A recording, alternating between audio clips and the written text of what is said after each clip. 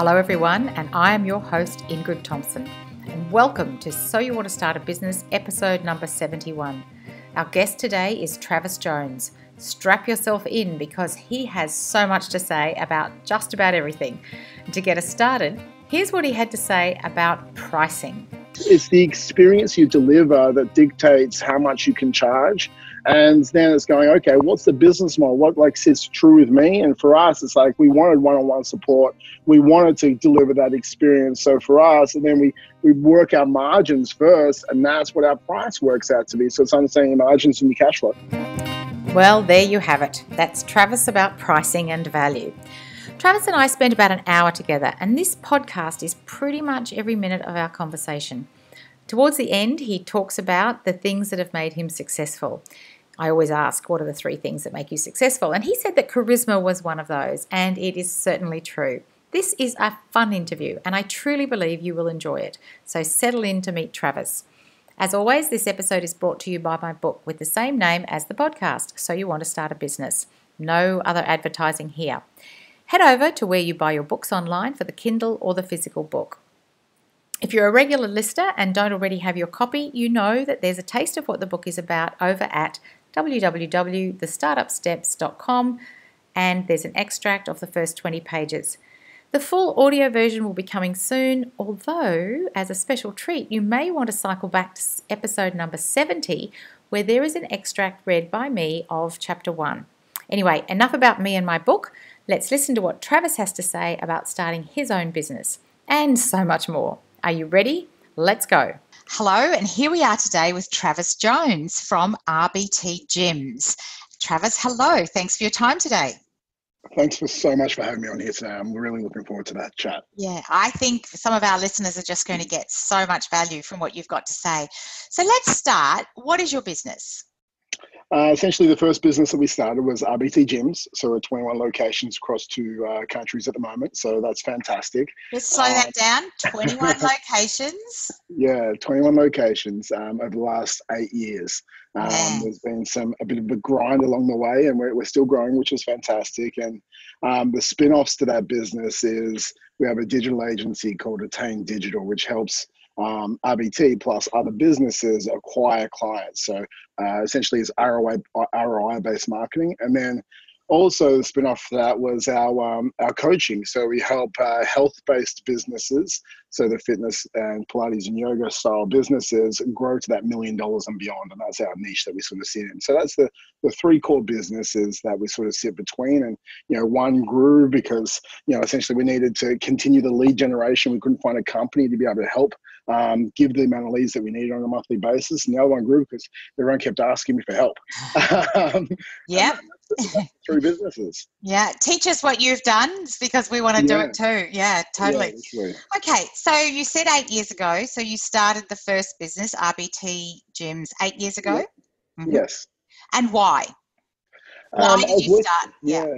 I was working in a big box gym, and um, so there's you know thousands of members. You know, you know we all know the big box gyms. There's the Fitness First and the Anytime Fitnesses and all that. And I was working inside one of those, and I saw everyone coming into the the gym. And what happens there is there's an 80% no-show rate. So there's an 80% of members are non-active, and only 20% of members actually using that membership. And I said, like, am I really making an impact in the health and fitness industry? Like, I got in here to change lives. I got in here to you know make a difference. And I was training my, you know, I was a personal trainer I am. Um, like I was training my 20, 30 people. I did it in a little semi-private environment. So I trained like four at once. I sort of sat in the corner by myself. Um, you are the sum of the five people. And I didn't really have any, anyone really surrounded by myself to lift me up. And I looked at everyone, they're walking in, no one even greet each other really. They just go stand on a treadmill or, you know, the girls, the females would walk into the weights room feeling intimidated. And yeah, I was just like, this environment isn't actually transforming lives. This environment isn't conducive to results. And all it is, it's a cash machine. Um, so I was like, I don't want to be a part of this anymore.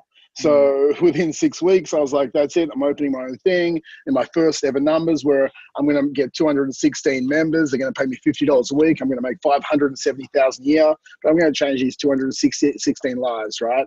Uh, that was my first ever numbers um, that I sort of made. I walked up to like, I was, I was had no money either. So I, I walked up to 51 people and asked them for a $25,000 investment in 4% of that first location. The 52nd person said yes. Um, so it was a lot of asking um, and not much, um, you know, leeway. But the 52nd person said yes, and I sold my car. I moved into the first location with my dog Hercules, and you know that was the first year of my life. I mm. I was uh, my marketing back then was like walking the streets, and I was like just knew that people were going to be in a park at lunchtime. So I walked up to like 100 people every single week, and I offered them a free trial into my business. It was like a 28 day challenge, and I knew if I walked up to 100 people a week, 80 would say no. 20 would say yes. And if I did those numbers, I would get me to where I needed to be. It wasn't smart marketing, but it was what I knew back then. Yeah. And you know what? It was probably really genuine in terms of it was you eyeball to eyeball smiling. I mean, uh, we're yeah. watching each other now in the video. Yeah, yeah. You know, it's your personality, and you know, yes, there's more sophisticated ways of doing it, but a personal trainer is just that a personal trainer. So it's that connection. So, you know, it might not have been the smartest marketing, but those people knew who they were going to be dealing with when they came to your gym. I hundred percent agree with you. Like so many people these days that you know we're talking like, are you B two B or are you B two C? I was like, no, I'm H to H, like human to human. Like that's who I am. And it doesn't matter. Like back then, yeah, I was literally human to human relationships, but even through social media now, or even through like this, you know, it's having, it's knowing that it's not a number. I'm literally connecting with a person on the other end that's a human being. They have emotions, they have feelings, they have their own things they're dealing with. So I want to connect to a human. And I think that for us, that's always what I wanted. I wanted the opposite. I wanted an 80% show rate. And that's how we've built our business. It's the we tried to look at what the industry was doing eight years ago, and I wanted to flip it on its head. I wanted to create a community-driven gym. It was only 250 members. You know, the the the essentially the cost was a little bit higher, but everyone trained in a group training environment. But they had the one-on-one accountability from a personal trainer who checked in with them each week, and that, I think that's the difference from where we went with the business. Mm-hmm. Um, so they had that contact. If they didn't show up to that session, that would get that text message, get that call, and they're like, "Oh, people actually care about my results." Yeah. And that's the difference. That's where I went. Yeah, fantastic. And I, you know, we could talk for hours about that particular aspect because that yeah. that lack of follow up, that lack of, we can talk about that in a little bit. We'll come back to that. So, just when you got started eight years ago, so you've kind of alluded to it, but Travis, what did you personally want from your business from day one? Like, what was that going to be? I know you've talked about you wanted to create something different, you wanted to impact people's lives, but what was this business going to give you from day one? I think everyone from, I think we all have our own dreams and aspirations. Um, I think that comes from childhood. When I look back for me, when I was growing up, you know, my dad was a successful entrepreneur. Mm-hmm. And, you know, unfortunately, he passed away in my teens. And I always had this sort of thing. It's like, I'm going to make a million dollars by the time I'm 30 and I'm going to change lives. Um, and I, I, never had a, I never shied away from work ethic or anything like that. And I sort of was sitting there at 26 and I'm like, you're full of crap. You aren't going to you know, make a million dollars and you aren't going to change all the lives that you said you're going to change. Like you, what you're currently doing isn't serving the world um, mm. or you the amount that you should be serving. So I was like, okay, I need to step it up. I need to sort of, you know, step out of being mediocre, mediocre and step out of mediocrity and move into, you know, more of an achiever. So, you know, step one was 216 members and I, I wanted a lifestyle. I wanted a better lifestyle. I think that's what everyone wants with business. They want more time, more money, more freedom. Um, but I think you just have to. I don't think that was the biggest driver. It was the biggest driver for me was the, it was a bit of a chip on the shoulder at the start, like mm-hmm. going, you know, people say you can't do this. I'll prove them wrong. Mm-hmm. Um, and at the same time, service, right? I wanted to mm-hmm. change more lives. So I think those two things, the chip on the shoulder and the service, were the biggest two things. And yeah.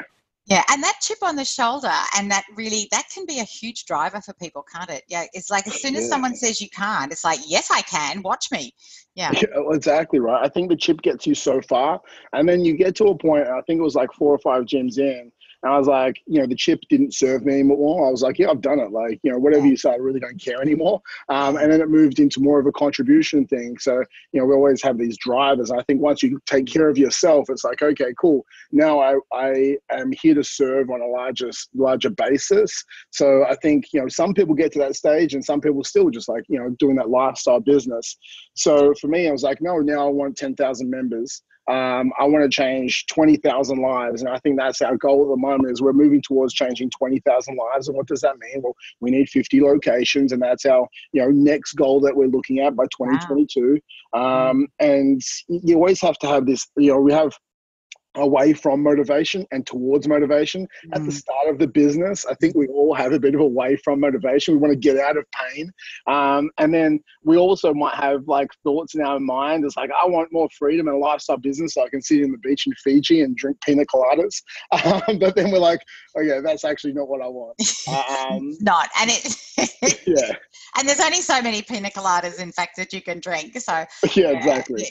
so that big why that sort of changing lives helping people really yeah. live a better life is is the underpinning that once yeah. that other kind of get the freedom get the money you know like you said after the third or fourth gym you know that that big why has to be what drives doesn't it yeah it has to be this wildly important goal like for me we have a hundred staff at the moment and you wow. know for me i get to look after a hundred people in that business their life and then mm. you know they show up every day to fulfill my dreams um, which is crazy, right? So it's like, you know, you need to lead them, you need to inspire them, you need to make sure that they feel like every moment they're spending on your business or our business is worthwhile. So, you know, it's leadership on a deeper basis. And I feel like, you know, it's impacting the industry for me, but it's there, my, from them, I get to impact thousands of lives. Mm-hmm. Um, so I really got to look after them. I think that's the, the wildly important goal at the moment and and I love what you say there because one of the things you're not just impacting those hundred people,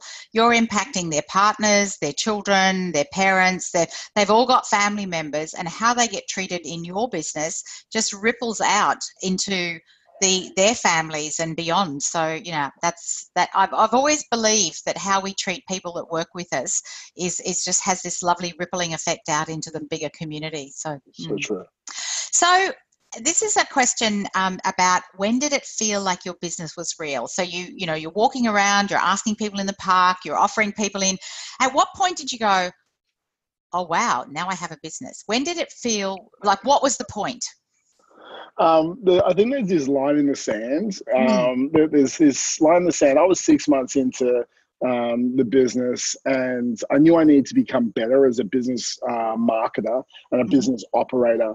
And you know, I've always been good at like you know, if you use the term hustling or whatever it is, um, I'll use that terminology. Um, I was always good at like hustling away to make a couple of hundred thousand dollars, and that's fine. But um, you know, six months in, I was like, I need to start to get smarter at this business, mm. and I need to start to rather than you know just work harder, work smarter. I saw this mentor in the States, um, and he was fantastic at marketing. He had some great operations. He had this um, essentially everything that I needed, except I didn't have the cash flow at that time to you know pay him as a mentor. So what I looked at was I was like, okay, how do I like? He was running this competition and you know, it was whoever could represent his blog, his website the best over the over the next month. Won a year of mentoring, mastermind catch ups, and I was like, okay, I'm going to win. And I just sort of sat there, I'm like, how are we going to do this? There was people in you know in Paris holding up signs in front of the Eiffel Tower with his website on it. It was pretty crazy. Um, but you know, from that, I was like, okay, I'm just going to tattoo myself and I tattooed his website on the back of my shoulder. So I've got this tattoo across the back of my shoulder with this guy's website. I took a photo, I sent it in. He's like, "Man, you are crazy." Um, he's like, "But you win. Like you win because um, no one else is crazy enough to do that." And like I, I think that in that moment right there and then, I was like, "I'm gonna be successful. Yeah, um, I'm willing to do anything to succeed." That some people might call crazy, but mm. starting a business in the first place is crazy. You have a 96% chance of failure. Like Absolutely. just starting it is crazy. So you may as well go all in crazy. well, we're not suggesting everybody tattoo tattoos people's websites, but Paul, congratulations! That must have been amazing yeah. to have his mentorship and that. Yeah, like I was, mm. uh, yeah, I was in like a mentor. I was in a mastermind with Bill Phillips, who was doing you know tens of millions of dollars with Body for Life.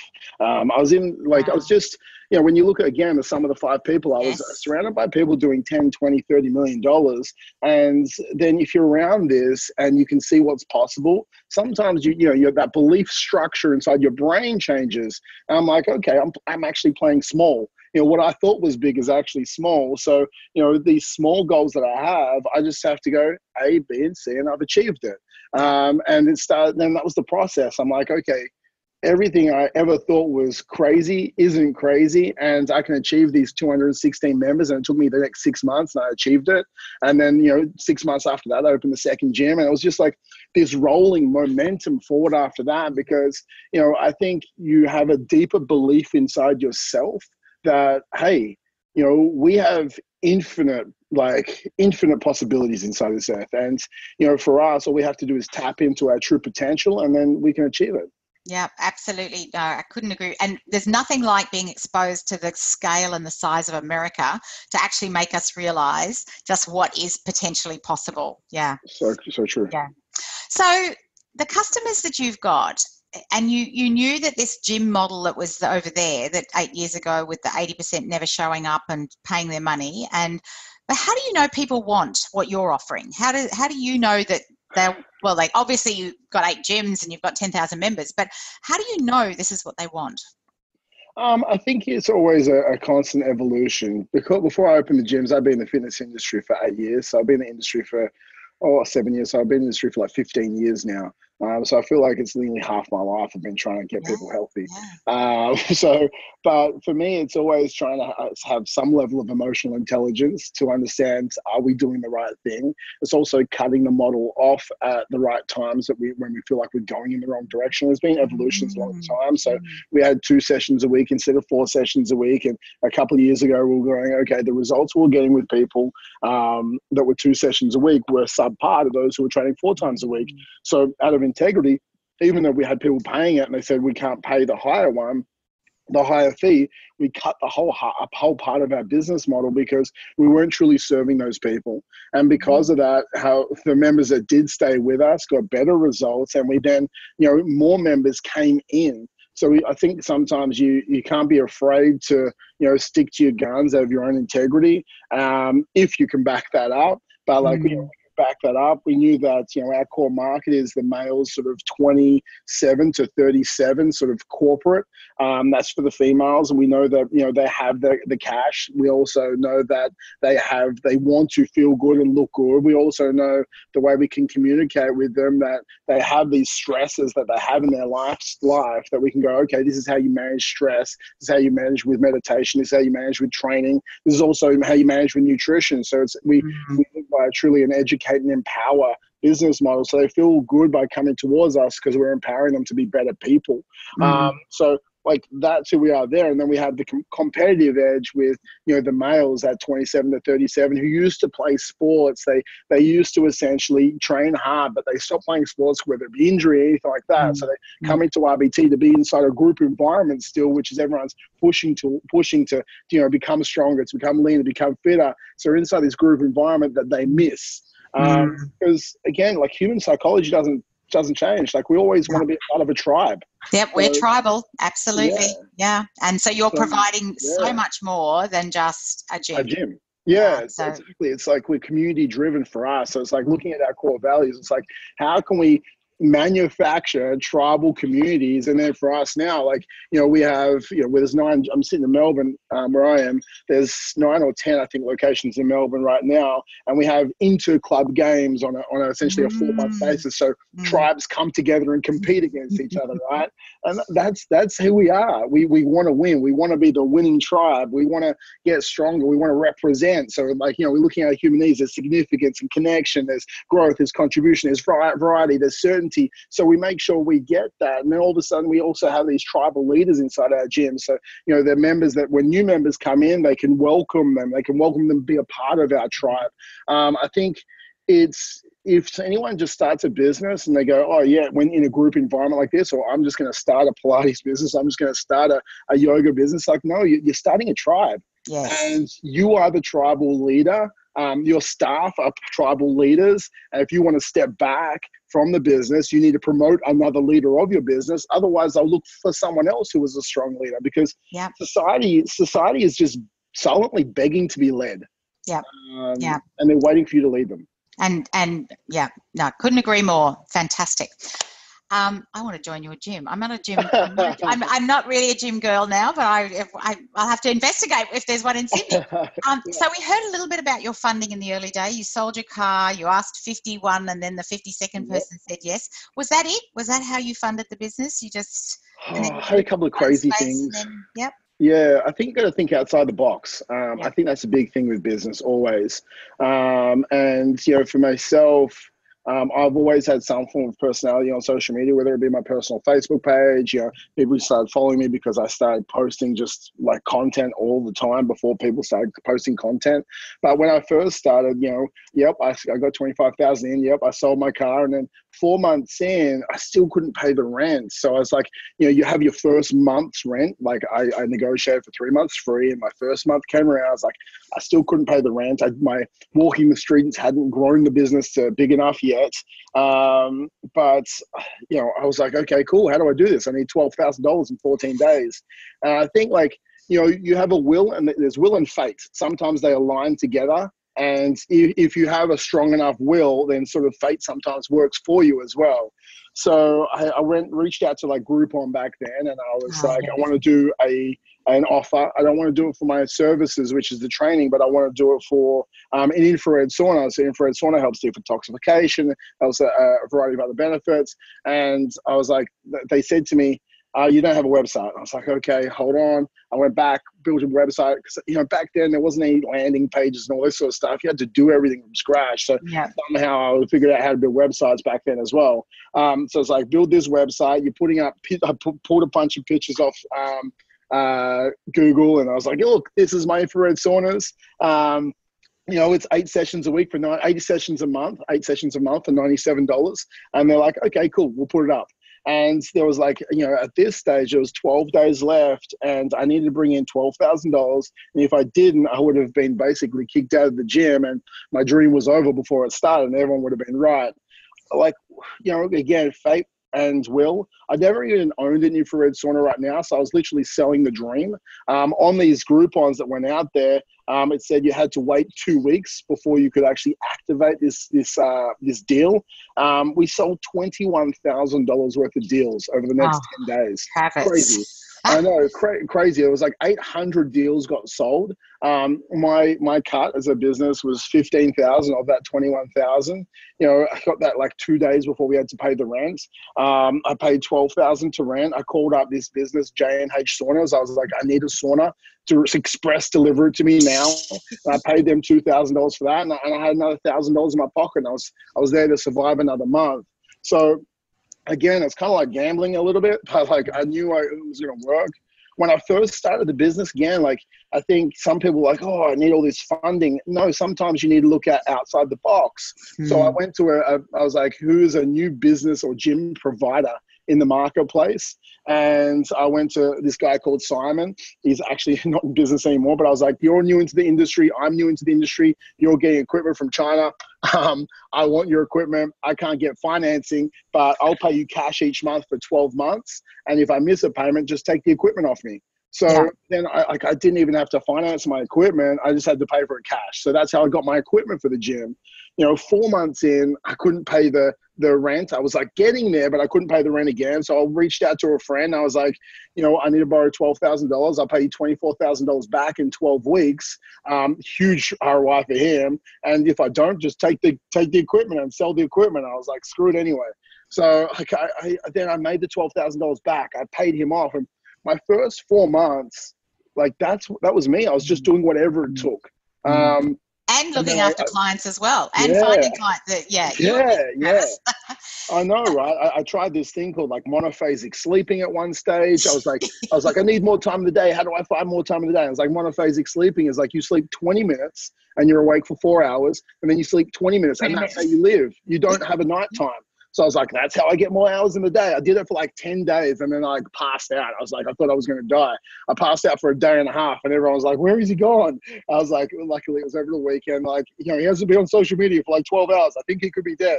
Um, but I was. no, like, he was just like, sleeping off his, just, his yeah, sleeping off his sleep debt. Yeah. Oh, so I was like, okay, that's that's not for me. I, I stopped doing monophasic sleeping and yeah, I think so. you start to yeah, but you start to work on okay, how can I be more productive? And that's when I search for that mentor.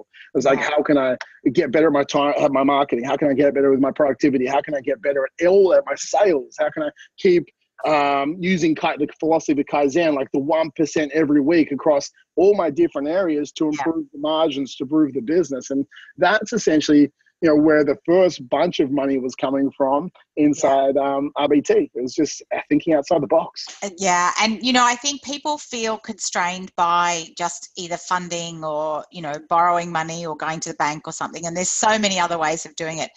Okay, so while we're talking about money, how did you in the early days and then how do you now? And you don't have to actually tell us how much yeah, it costs yeah. to come to the gym but how do you decide a pricing strategy? How do you know how much to charge your people? You said there about the two sessions and the four sessions. Yeah. So talk um, about pricing please it, it, it's a bit of a tough one right like for us mm. obviously we look at our margins um, we're just going through a pricing restructure at the moment. So, you know, we, we were at 97 for some locations, we were at 77 for some locations. Um, at the 77, where we have good margins at capacity, but not until capacity, we don't. So, we're actually pushing it back to you know, it's looking at a 30% margin all the way from like 100 members up to 150, up to 100, uh, up to 200. And it's looking at the employees that we're hiring at that point as well. Mm. So I think the 84.95 for us, having 30, 30, 30% margins is key. So sometimes, you know, we know we're good at what we do. We're more expensive than the other places around us, like us, but we don't really care. For mm-hmm. us, we need to be profitable whilst holding a leadership team because we're not franchise based. So we have internally this leadership team that, you know, we distribute the cost of that across the locations as well. So our, you know, costs are slightly higher at each location. I think um, the it's not really when you're looking at what you're going to charge dictated on what the market is currently paying. It's mm. dictated on what you need to charge based on your infrastructure.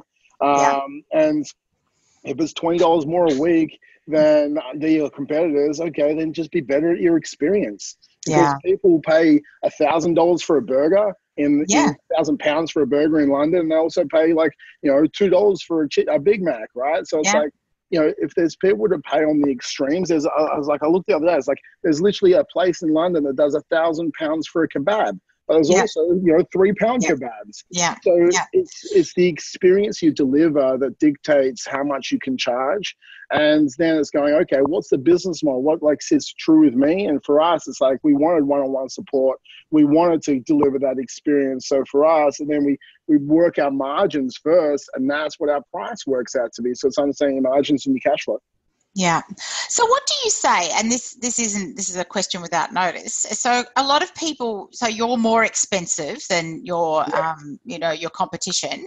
What what do you do when someone says mm, you're expensive or that's expensive? How do you respond to that, or how does your team? How are they trained to respond to when someone says that's expensive? Like it's it's easy, right? Like for us, like you know, Qantas is more expensive than Tiger okay, like um, a Rolex is more expensive than a Casio. Um, a Lamborghini is more expensive than a Datsun. Yeah. You know, so that goes back get, to what you said about the customer experience. It's yeah. experience that they it's just the experience is like for yeah. sure. Like, do you want certainty that you're going to get to your result? Because that's what we provide. Yeah. You know, I, I yeah. can't like we give you a hundred percent certainty that we'll get your result or your money back. Yeah. So we, we we give you that certainty. And it's like, yeah, for sure. Like, you know, when there's there's first class, there's business class, and there's economy. Are you the type of person who likes to sit in economy? Do you want the leg room? You yeah. know, do you want the personalized approach? Or, yeah. you know, do you want to be guessing your way along there? It's like, I hope I'm doing it right. It's yeah. like if you want the guesswork taken out of out from you, if you want to keep kept accountable, if you're sick of yo-yo dieting, if you want to learn how to keep this for life, then this is probably we're probably a good fit for you. Or if you've been to the gym for the last three years, how much have you spent by not coming to our gym when you could have achieved that in six months? Yeah. So Yeah. you could have had the last two and a half years with more confidence, the last two and a half years feeling better about yourself, the last two and a half years you probably would have got a pay rise because of the confidence you would have got if you joined us three years ago. So it's like, Travis, I love you. yeah, like you're, You're losing money. Yeah. you're losing money. You're losing money doing doing what you're doing. So yeah, Yeah. yeah. start So spending I- more and get over here. Oh, well, that's the thing. It's also like people go, oh, I'm not sure if I'm willing to pay that. And it's like, even with business consulting as well, right? It's like, oh, you're expensive. It's like, yeah, if you can't afford it, it's why you need to do it. And it's mm. like, you know, mm. when someone starts to put more money on the table, they actually take you more seriously. Mhm. Um, so when you're looking at a gym and you're like, oh, I'm going to charge thirty dollars a week, so it's so it's more affordable. And it's like, okay, well, you're also making it easier for them to not care about it as well. Yeah. It's Yeah. like I'd rather charge a hundred bucks a week, and they're like, "Oh Jesus, that's that's really expensive for me. I'm going to take this really seriously." Then it's like, Mhm. "Yeah, I want you to take it seriously." Mhm. because that means you actually listen to what I say. It means you'll follow the nutrition advice. You're going to turn up to the sessions. So Yeah. when some people see it as a hindrance, I see it as an advantage because Mm-hmm. we're making people more conscious of their choices because they're, you know every dollar counts. Every dollar counts, and they know that they've got that commitment, and you're holding them accountable because you follow them up if they're not showing up. So yeah, So I think it's, it's it's crucial to understand that. Like pricing is crucial to to not try and go. If I compete on price, I lose on price. Just Yeah. always remember that. yeah. Say it again for everyone who just maybe was distracted by throwing a ball for their dog while they were listening to the podcast. If you compete on price, you will lose on price. There's always someone willing to come into the marketplace and probably has more money than you who is willing to do it cheaper than you. So if that was your angle in your business growth, that is going to be your essentially downfall in your business growth. Yeah, but price is never something to compete on. It really isn't. Yeah. And certainly not for health professionals because so many health professionals do what they do because they want to help people, they want to make a difference. And, you know, selling that cheap, you can't help anyone when you're sleeping in the car No. under a bridge or, you know, like that's just, you, you're just not. And if you're constantly stressed about money, it really impacts how well then a health professional can actually deliver what they're doing. You know, the money has to be gone. Yeah. So, okay. So, an exit strategy, it doesn't sound like you have one, but you don't have to tell us what it is. But have you, like, when you get, is there, like, what what happens down the track? Yeah, for us, it, it's it's a good one. Like for us, you know, we're going to get to the 50 locations in Australia, and then we'll focus on the US again. Um, I think, you know, I, I want I want it to be a hundred million dollar company. I think that's a Yeah. big thing for me. Is like it's not just because it's a number. I think for us, a hundred million dollar company will probably be about 130 gyms. It means we get to, you know, those hundred million dollar company, 130 gyms means we're changing about 30,000 lives every single year. We're actually like making an impact um, you know, when we look at it, you know, they said I think it's like 66% by 2022, 66% of the adult population is going to be overweight or, or obese, and 40% of children. Wow. Um, so, like, it, it, I, I find that is scary. Yeah, really scary. It's kind of a bit disgusting as well. I'm like, I feel like, oh my gosh, we're going in the wrong direction. Um, so, you know, we're, we're launching some initiatives to bring in kids for free at the four to five o'clock mark so we can start to educate the next generation. And Fantastic. for me, it's not just about, you know, it's not about cash. It's about, okay, cool. If I have 130 gyms, that means I can, you know, run 460 campaigns for the kids running for six weeks for free each year. And that means great. Over those 460 kids, I can impact about 10,000 children every single year. And that's the next wave. It's educating them to empower them to have Yeah. better lives and the ripple effect that you talked about earlier. Like it's, that's that's why I'm in this industry. Yeah. And you know, Travis, the smoking thing was actually driven by children, the non smoking. Like children children were they went into schools and they taught children what smoking was doing to their parents. And that that generation of parents stopped smoking because their children spoke to them about it wasn't a campaign from the government that told the parents it was the children. So you could have the same impact with the children to their parents about healthier eating and you know it's just phenomenal what we can do. I was at a um, a conference recently that Michelle Obama spoke at, and you know she talked about how many people in America. I mean, it's the same percentages. It's it's hundreds of millions of people who are unhealthy, who and that but the strain that is going to be on their lives, on their families, and then on the health system and beyond. Yeah. It's just like it's it really is, and there's more than enough. Anyone who's worried that their business there is more than enough clients for everybody because such a tiny percentage of people actually come to health to gyms to those sorts of things. that's the thing like people say to me oh but aren't you worried about competition? I'm like no please bring more competition because yeah. you know especially in the states like for us in australia there's you know that's why we'll, there's 23 24 million or whatever it is in australia at the moment we'll get to our yeah. 50 gyms. Um, like there is 30 million people in la yeah. like, we to, no, like we have to go to America because like yeah. that's we have to impact more lives over there. Like yeah. we have to grow over there. And it's like the impact we could have if we're doing 50 in Australia, we could do 50 in LA. And yeah. Still, uh, like there's, and, and there's still people left over. So it's okay. crazy. Like competition yeah. is nothing you should nothing. ever be worried about. No, absolutely. Um, something you wish you'd done differently at the beginning. So let's be a bit reflective. You've you've eight yeah. years is if you had to say something you'd rather you'd done differently what would it be um, i think you know I, am an emotional person um, i'm a cancerian i don't know if that means anything but i think i feel like i wear my emotions on my sleeve hmm. so i think like i felt like i got let down a few times by people um, hmm. and it, it, i think it's being more reflective earlier on so it's like, and taking more ownership sometimes earlier on, and also understanding and empathizing and having compassion earlier on as well. So it's like, yeah. you know, when someone makes a decision whether the, to leave me or, you know, you know, whether it be steal from me or whatever it is, mm. it's like, okay, like what are they going through? Like, mm. let's change perspective.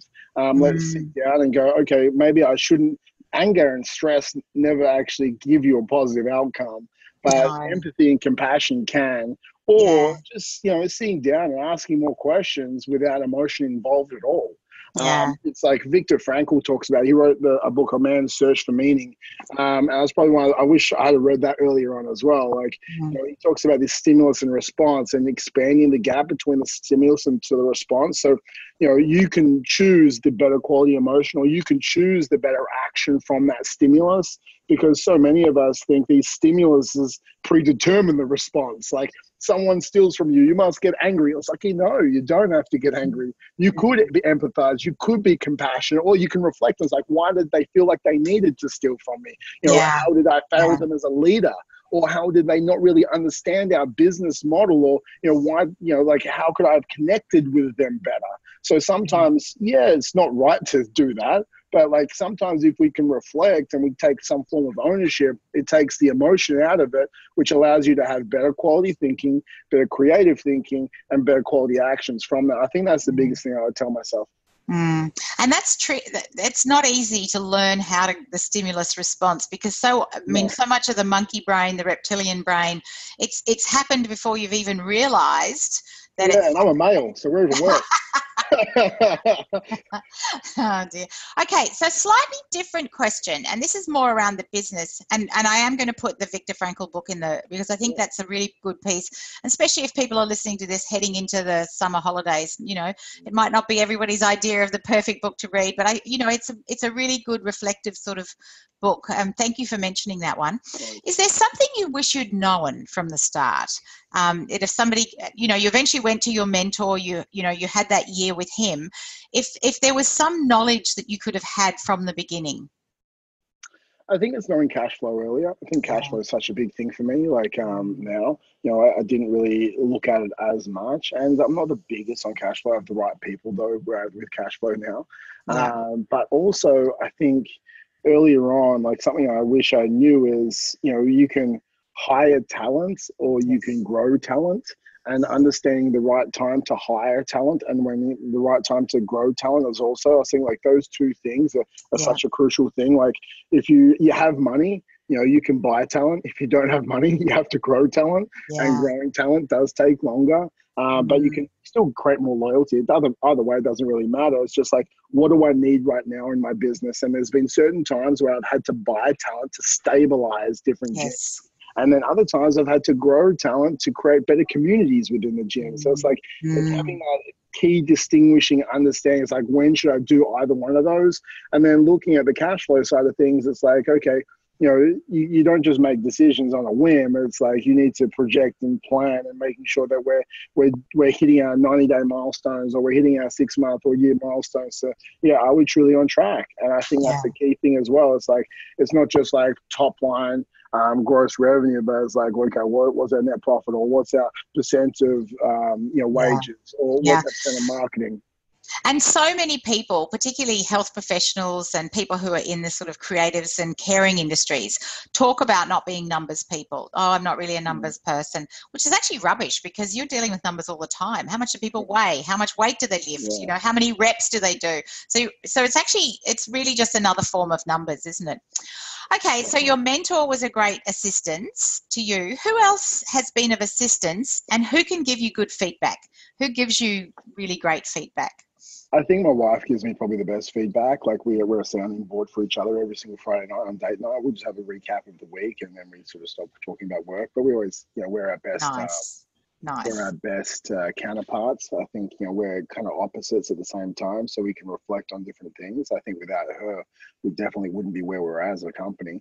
Um, she grounds me, and she she is probably one of the smartest people I know. So she she definitely is the biggest help for me. Mm. I think mm. then it's looking at um, our teams. I think our teams mm. in every team they give the best feedback, and you have to be open and honest with feedback as well. So you have to go, mm. okay, this is you know this is whatever it is. A certain day of the week, you're doing your feedback time, and you go, okay, cool. This is a non-emotional feedback time, guys. I'm going to tell something to you, you know, each of you, okay, that I need better from you over the last seven days, and you're going to tell everyone gives everyone a piece of feedback. Mm. So constantly we can becoming better as as teams. We can become better as a leadership team, or we can become better as individual teams, which strengthens the culture. Because if so many times in business, people are afraid to speak up. They're mm. afraid to tell something that um, they feel like is going wrong. And if you don't tell people that something's going wrong, then all of a sudden this like small um, mm-hmm. little like itch, mm-hmm. this massive like could be like an ulcer essentially like that. Mm-hmm. Like feels mm-hmm. debilitating at times. So I think having a set time each week with your team where you're doing open and honest, non-emotional feedback. Um, I say non-emotional because feedback isn't emotional. It's just mm-hmm. what, what people they're giving you that. It can be emotional, but you need to take the emotion out of it so you can have um, yeah. essentially constructive conversations. I think those two. I've had like seven or eight mentors over the last you know, eight years. You know, I've, I've sold multiple cars to try and pay for mentors, flying to the States or done it all. Um, yeah. Some mentors were great and some mentors weren't, but the ones that weren't, I, I'll learn something from. The ones that are great, I'll learn two things from. Um, yeah. I think it's, it's, it's constantly, um, you know, Tony Robbins would say, right? It's like constant, never ending improvement. Yeah. if you, yeah. if you look at yourself uh, with uh, the humility or being humble enough to go, every single moment I can learn something from anyone, um, whether it be a mentor or the janitor or whatever it is, like, you know, you have to be open to learning. And if you're closed off to learning, that means, okay, cool, maybe you have a bit of an ego problem. Yeah. Like, yeah. your ego to the side and be humble enough to learn from anyone and everyone. And if anyone gives you feedback, it's valid. Um, you look at it, you reflect on it, you move forward. I think mm-hmm. that, and also the last one I would say is um, myself. I think feedback from myself. So if you journal on a daily basis, I would recommend everyone should be journaling on a daily basis. Ask yourself a question each morning. You know, mm. you know, how can I be a better person, or what would I need to do to reach my true potential, or you know, ask yourself a question about it. It's like, what if I had to do three things to increase my member experience? What would I do? Mm. Or if I was one thing I could implement to be a better leader to X person, what would that one thing be?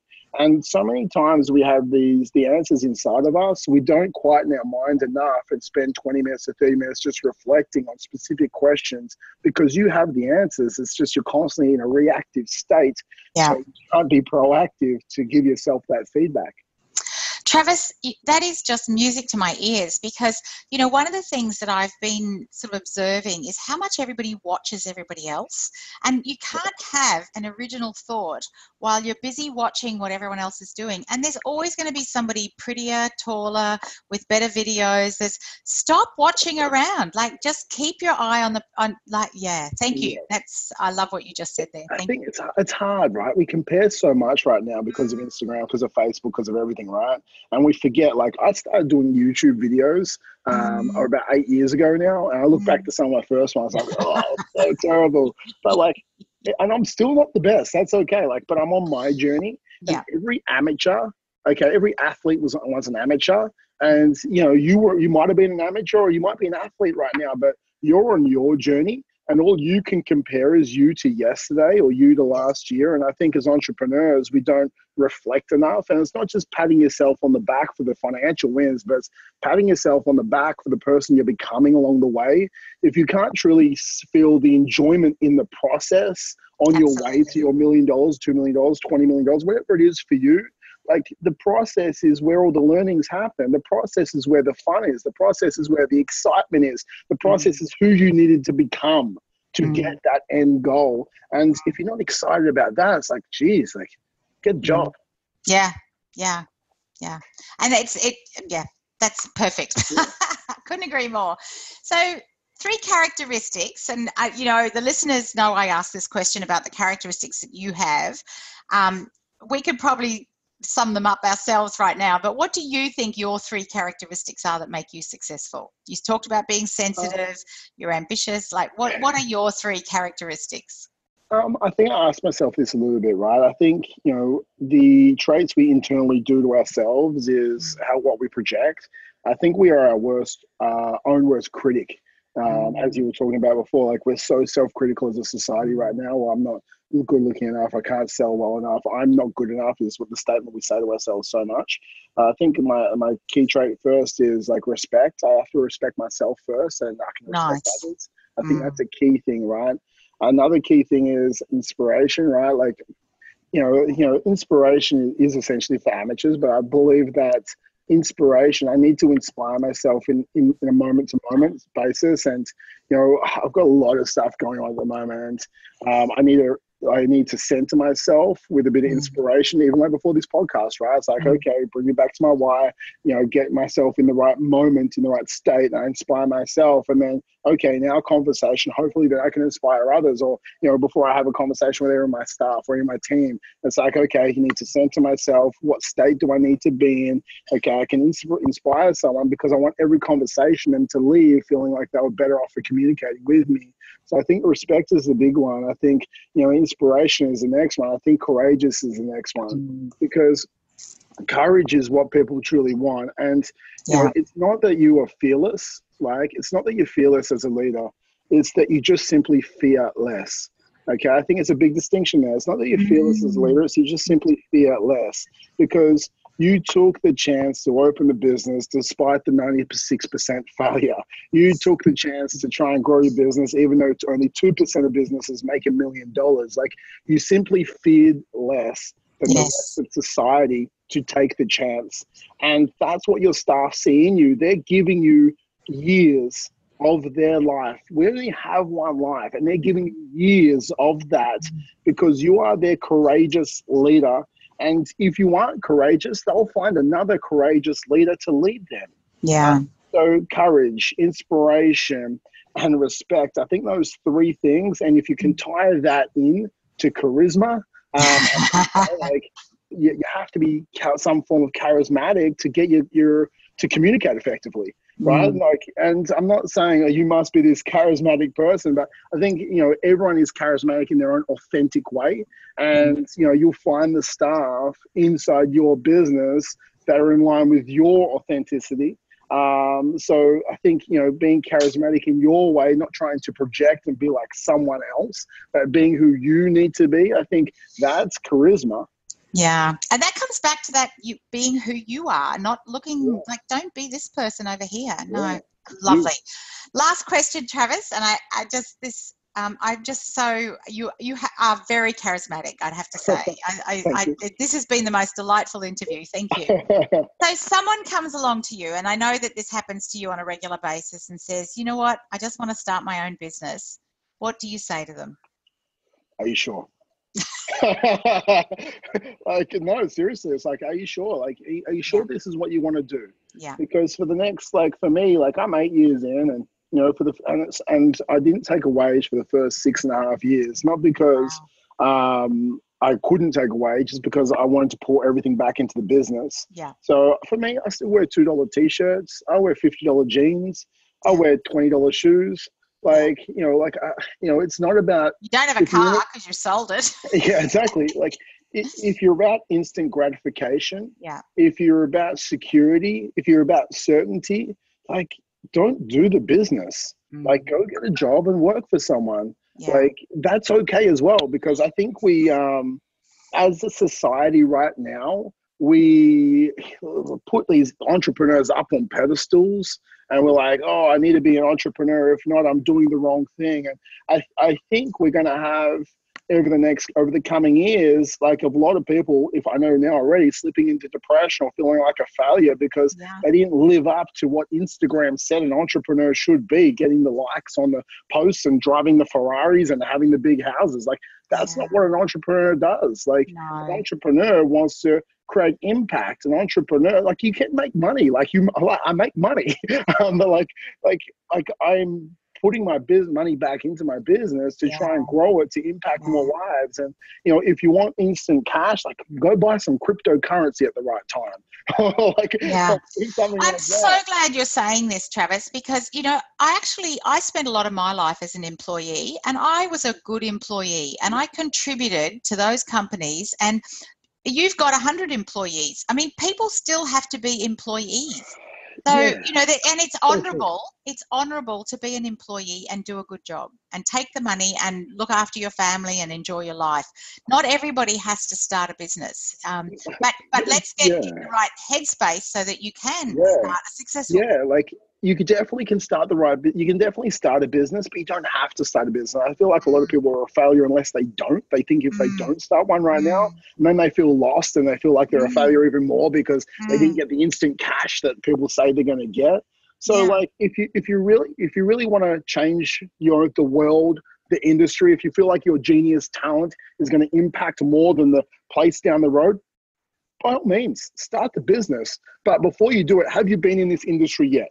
No? Then go get a job part time. Go work as a casual person. Yeah. Understand that you truly love the business. If that gives you a, like this fire in your heart, it's like, yes, I want to do more. I want to do more, and I want to do more. It's like you found it. Yeah. Thank congratulations, you found Yeah. it. Now pour your heart and your soul into that for the next five years. Because over the next five years, if you do that, then you're going to build something that truly changes lives. It's going to impact the world.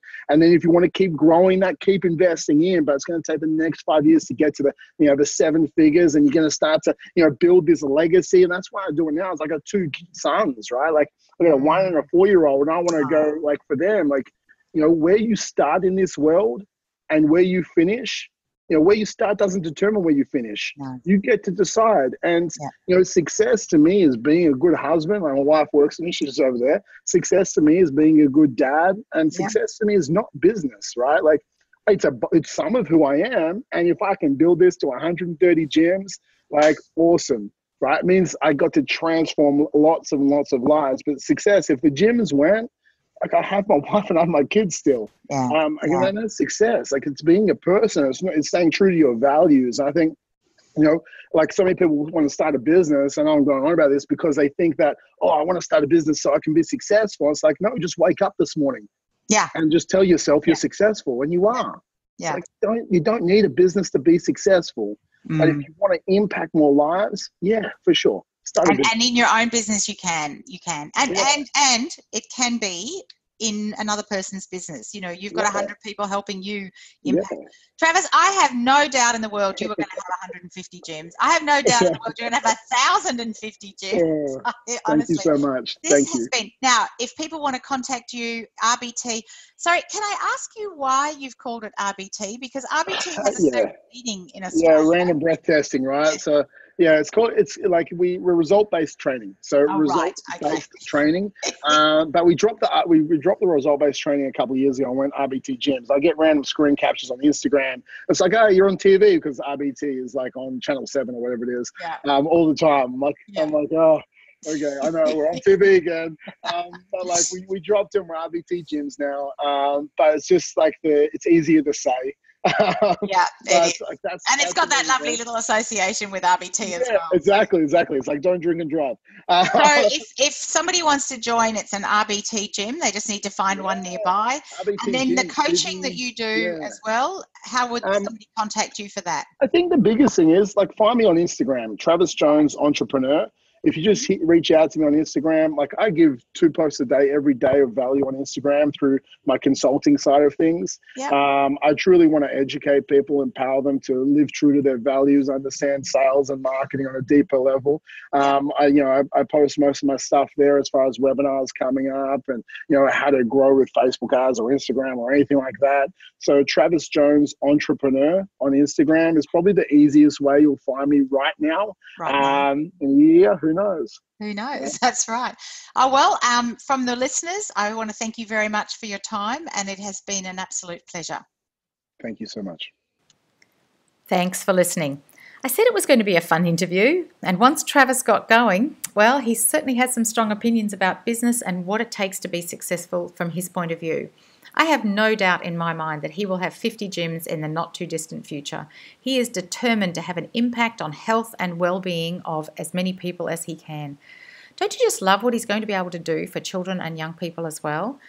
You see, being successful gives all of us the ability to have more impact on the things that we believe in. You may want to go back and listen to parts of it again, or maybe you want to jump over to the website where there's a full transcription healthynumbers.com.au and choose the podcast tab. All the podcast transcripts are there. And for everyone listening, whether this is your first episode or you've been with us for some time, I truly believe that whatever you're dreaming about can become real. These podcasts are designed to inspire, educate, and inform you about what it takes to create, start, and grow a business of your own. If you enjoyed this episode, please take a moment to rate it on iTunes and leave your comments. We all know this helps with spreading the show to more people. Thank you. What questions do you have? How might I help you? Email me any questions, ingrid at healthynumbers.com.au, and I will reply directly. I answer all my own email questions because it's important for what you need. As we say, ideas without action, well, that's just what they are ideas. What action are you inspired to take today? Till the next time, thanks for listening.